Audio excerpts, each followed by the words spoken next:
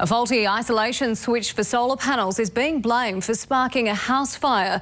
The part was subject to a national recall, but the frustrated homeowners say delays meant it was never replaced.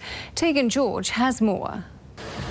When firefighters arrived, smoke was pouring from the Pelican Waters home. The owner's on his way. The blaze broke out in the garage, quickly burning a hole in the roof before it was brought under control. The solar power connected to the house, um, which made the roof potentially live. A faulty isolation switch connected to solar panels is being blamed.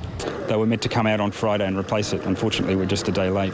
There's a national recall out on the switch. The homeowners say they've been trying to have it replaced for the past two and a half months. But despite the damage, the delays and the frustration, this family is still counting themselves as fortunate. I was happy to see that we had most of the house, so uh, it might sound a bit um, strange, but I'm quite happy with the small amount of damage that we've got. The blaze was contained to the garage. Investigators will have to confirm the cause. On the Sunshine Coast, Tegan George, 10 News.